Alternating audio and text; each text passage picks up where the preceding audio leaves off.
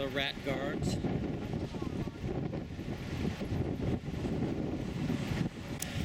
This is the Costa Pacifica, an EU ship. This is a good shot of the rat guards.